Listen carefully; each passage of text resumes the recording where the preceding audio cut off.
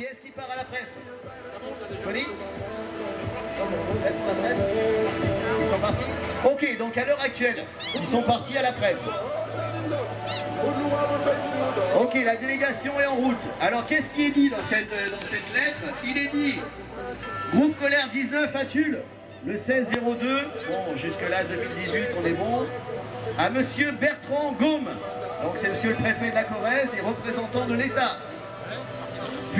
Faut se serrer la ceinture, nous réclamons la transparence totale des dépenses des représentants de l'État. Nous estimons qu'un vol à 350 000 euros pour faire gagner deux heures à notre Premier ministre Édouard Philippe et sa délégation, c'est une dépense indécente et inutile. L'exemplarité devrait être de mise. Comment peut-on avoir le sentiment que ces élus soient représentatifs des Français alors que le train de vie de l'oligarchie est exubérant? Vous êtes d'accord avec ça ou pas? On est d'accord. Comment justifier le salaire d'un secrétaire d'État à près de 250 000 euros par an? Que fait-il de si exceptionnel? Ah, euh, je sais pas moi, 250 000 euros par an, c'est à peu près 15 fois le salaire d'un secrétaire normal, quoi. Donc, euh, je sais pas, il doit avoir une bouche exceptionnelle avec deux langues, enfin, j'en sais rien, mais. euh, enfin, bon, bref. Euh, c'est pas marqué dans la lettre, ça, hein, c'est un petit commentaire perso, euh, c'est cadeau. Ok, ensuite, peut-être pourriez-vous montrer l'exemple en matière d'économie? On est d'accord, ce serait bien qu'il montre l'exemple quand même, parce qu'il nous demande à nous de nous serrer la ceinture. Je sais pas vous, mais moi je suis obligé de faire des trous tellement il n'y a plus de place dans la ceinture. Euh, Alors je veux bien serrer, mais euh, au bout d'un moment, enfin bref. Nous ne, vont- nous ne pouvons plus accepter de telles dépenses de l'État alors que nous, peuple, nous devons choisir entre le pain et le beurre. Ouais, ouais, on est bien d'accord. Quand M. Macron porte un costume à 15 000 euros, il dit qu'il suffit de travailler pour faire de même. On est d'accord. Peut-être est-il judicieux de préciser que lui, il gagne en une année l'équivalent de 150 ans de SMIC. C'est important quand même. Parce que un mec qui fait les 3-8 en usine, bon, allez, il va gagner 1500 euros par mois. Je suis parti sur 1500 euros par mois. hein. C'est, déjà un SMIC euh, plus plus, hein, on est d'accord. Heureusement, ils ont une commission d'experts pour, pour euh, évaluer. Ils ont dit non, non, le SMIC c'est beaucoup trop élevé, ça va pas du tout. euh, on est d'accord. Mais rien qu'en partant là-dessus, d'accord, lui en un an, il gagnait 150 ans de salaire pour nous, pauvres Français moyens, quoi. Et je parle d'un mec qui gagne 1500 euros par mois, c'est déjà pas mal, d'accord On est beaucoup à pas gagner ça. On est OK avec ça. C'est pourquoi nous demandons le retour pur et simple de l'ISF, et ainsi que sa réforme, parce que cet impôt est une nécessité. Est-ce que vous trouvez normal qu'il fasse cadeau de 3 milliards d'euros aux ultra-riches? Et on est bien d'accord, pendant ce temps, il augmente la CSG, donc euh, nos pauvres papis-mamies qui ont bossé toute leur vie, ben eux, on va leur piquer juste 25% d'augmentation de CSG, c'est juste dégueulasse. Euh, c'est pas marqué non plus, euh, cadeau, monsieur le préfet. Euh, bref, donc, et Madame la ministre du Travail l'a précisé, ne serait-ce qu'au nom de la solidarité. Vous avez vu cette petite vidéo qu'on a partagée sur le groupe? Elle dit ouais non mais les vieux, il faut qu'ils soient solidaires avec les jeunes. Bon c'est vrai, on a augmenté euh, euh, les prélèvements de 25% hein, pour une retraite. Donc un papy qui gagne 1000 euros de retraite à l'année, eh ben on lui enlève 800 euros par mois. C'est juste indécent. Pendant 800, pendant un mois, faut, faut qu'il arrête de bouffer en fait. D'accord, c'est super. Bon, c'est bien parce que comme ça, comme on n'a plus d'argent pour mettre dans les EHPAD, les papis vont mourir et ils ont bossé toute leur vie pour rien. On a, on a payé jeunes actifs pour les vieux. Ben, ah oui, alors parce que quand, quand ils étaient jeunes, ils ont payé la vignette pour les vieux et maintenant qu'ils sont vieux, il faut qu'on leur enlève des sous pour les jeunes. Donc ils sont fait baiser tout le temps en fait. Et pour les vieux qui se font... Non, non, je- non, je mais moi aussi j'aime bien... une- Enfin bon bref. Euh, ok, alors ensuite... Qu'est-ce qu'on a dit Ne plus imposer les grosses fortunes et continuer d'augmenter l'imposition des salaires moyens est indécent. Nous ne pouvons plus accepter que cela se passe ainsi. Est-ce que vous êtes d'accord On est d'accord, on continue. Bon, euh, il y en a 40 pages. Hein, euh. On a toute la journée, hein. Ouais, on a toute la journée. Alors nous souhaitons également le retrait de la loi travail qui n'offre plus la sécurité de l'emploi et la tranquillité de l'esprit. Cette méthode va pousser les employeurs à en vouloir toujours plus de la part de leurs employés et encore une fois, les employés au salaire moyen seront les dindons de la farce.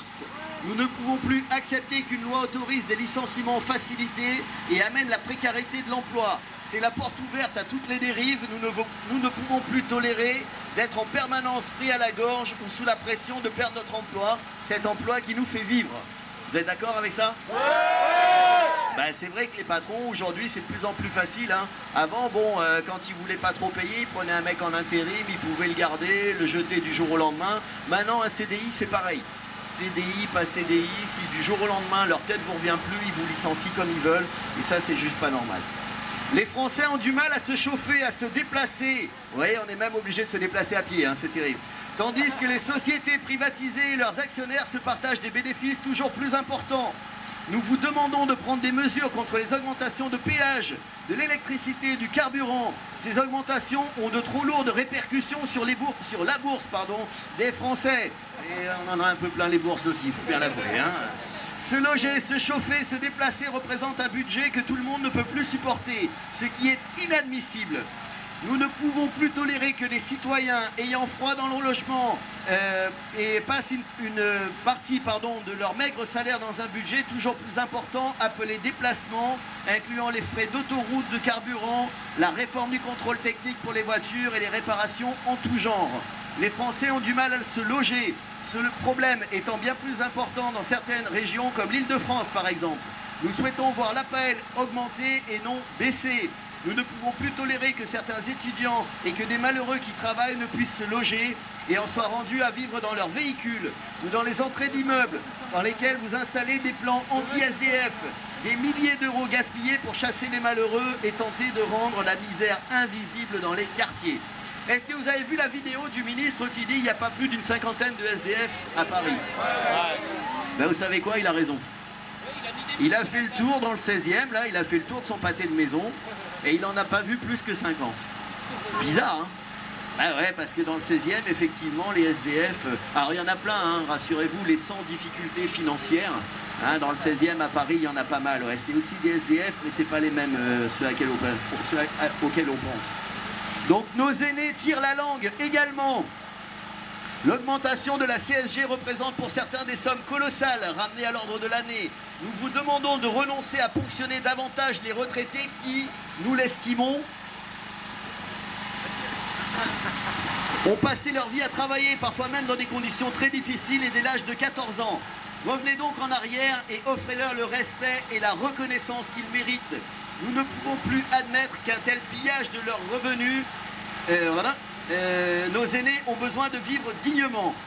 Merci le soleil. Alors on avait envoyé un fax au, bon Dieu pour lui dire tu nous mets un peu de soleil aujourd'hui.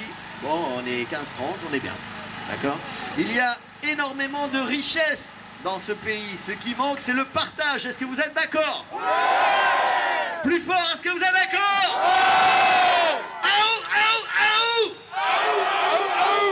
Ok, j'aime bien, vous êtes avec moi.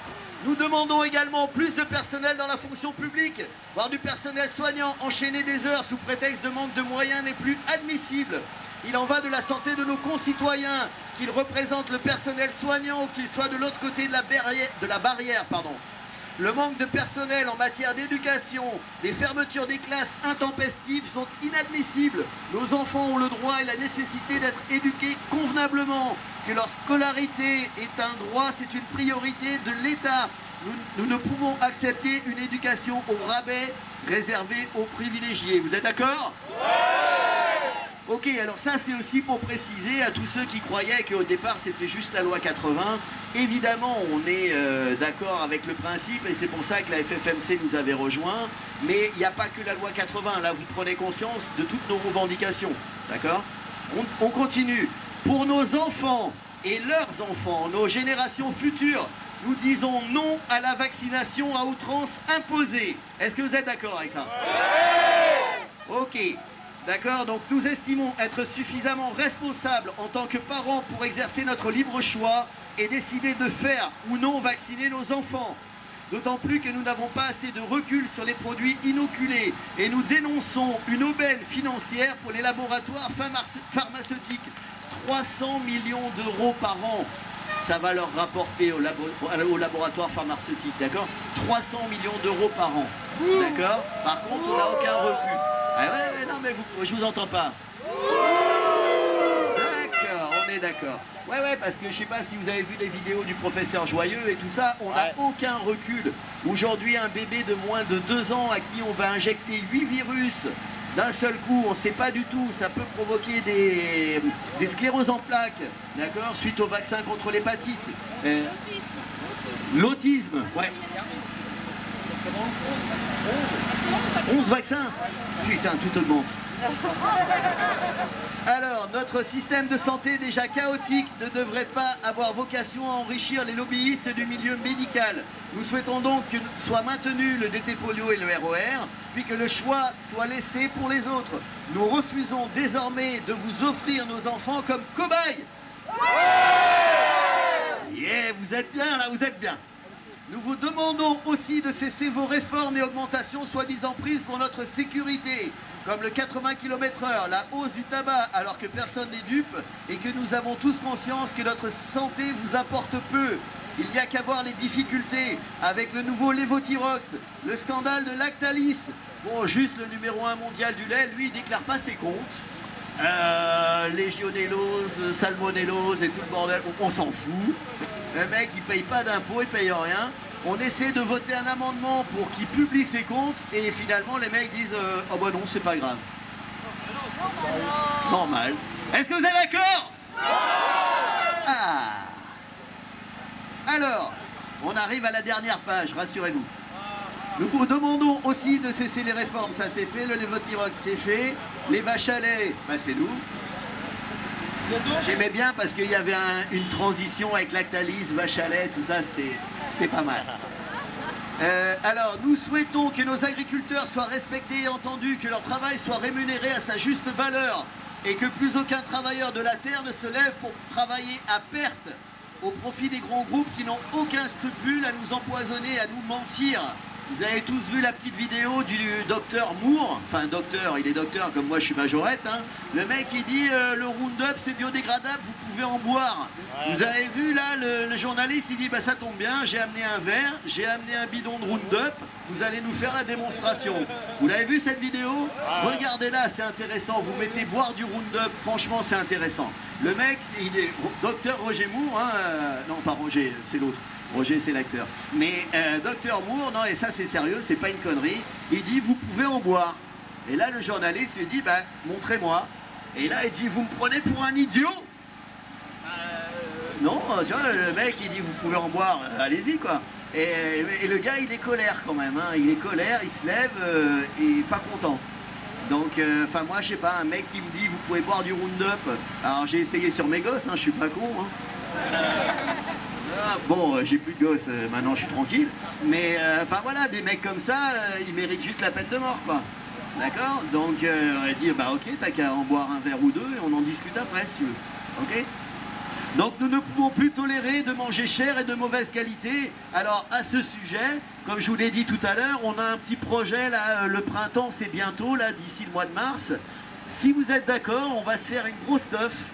On va mettre une scène avec une scène ouverte. hein, euh, S'il y a des gens qui ont des groupes de zik, voilà, on vous donnera le micro. On va inviter des producteurs de pays, les, producteurs des petits marchés de pays, ils vont amener euh, leurs trucs. Et comme ça, on va fuck le Leclerc de Brive. Pardon, euh, non. On, va lui dire, on va lui souhaiter une bonne journée. Et pendant ce temps, nous, on va acheter euh, des produits locaux dans les petits producteurs locaux qui vont jouer le jeu avec nous. On va se faire un gros barbecue, une bonne zik, un truc sympa. D'accord? Voilà. Donc ça, c'est dans les projets. Ok. Attends, on la refait, on la refait. C'est sympa, non Ah, j'aime bien, merci. Pour finir, ah, nous demandons la mise en place d'une démocratie directe dans laquelle les décisions seraient prises à l'issue de référendums. Alors, euh, juste une précision. Vous savez, aujourd'hui, on est dans une démocratie indirecte. C'est-à-dire que nous, citoyens, on n'a pas le droit d'aller au Sénat ou à l'Assemblée euh, nationale et de dire bah, tiens, on a une idée, on va voter une loi comme ça. C'est anticonstitutionnel. Vous le savez ça? C'est anticonstitutionnel. C'est-à-dire qu'on a mis en place une constitution dans laquelle on n'a pas droit à la parole et on appelle ça une démocratie. C'est pas mal, hein? Ouais, on s'est bien fait niquer là quand même sur le coup. D'accord? Donc euh, on demande gentiment que ça change en fait. hein, euh, et alors donc c'est quoi le truc? Euh, il est... Ah ouais c'est ça. Donc référendum pour les sujets importants, tout ce qui est bien commun, droit commun, et, et donc pour et par le peuple qui vous a mis en place. Il est des sujets non traités pour lesquels vous passez euh, donc euh, des mandats. Il y a eu des mesures hein, qui ont été passées, comme le 80 par exemple. C'est pas passé au vote. Le mec a dit bah tiens, euh, ok, on va tous les niquer, on leur met une loi 80 comme ça parce que j'ai décidé. C'est quand même pas très cool. Alors, euh, nous ne tolérons plus, nous n'accepterons plus et nous ne. Ça, c'est le backspin. D'accord Je joue trop à Virtual DJ, c'est pour ça. Nous ne nous tairons plus devant le 49-3 On est bien d'accord.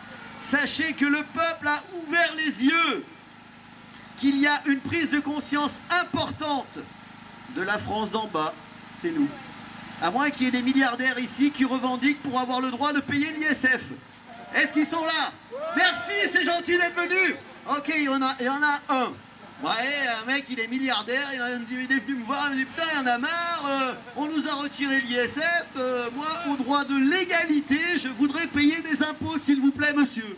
Ah, j'ai appelé tonton Macron, j'ai écoute, ce serait sympa quand même que tu fasses un effort pour ces pauvres milliardaires là qui peuvent plus payer d'impôts, c'est quand même pas normal. Au titre de l'égalité, euh, ce serait bien quand même. Donc, euh, donc, ça y est Tony? Ils redescendent? En fait, ils ont sécré- ils ont séquestré le... Ah ouais, là, ils sont en train de boire le café, d'accord. Ok. euh, alors, à vous de nous montrer que vous n'êtes ni roi, ni Dieu, et qu'au pays des, des droits de l'homme, il n'y a que des devoirs, on est bien d'accord. Et alors, attends, c'est laquelle? Ah ouais, c'est celle-là. Celle-là, j'aime bien, j'espère que vous allez aimer. Alors, nous voulons tous la même chose. Une France qui va mieux et non une France en souffrance. Merci, je vous en prie. Ok. Bon, allez, on remet un peu de zik. Nous sommes...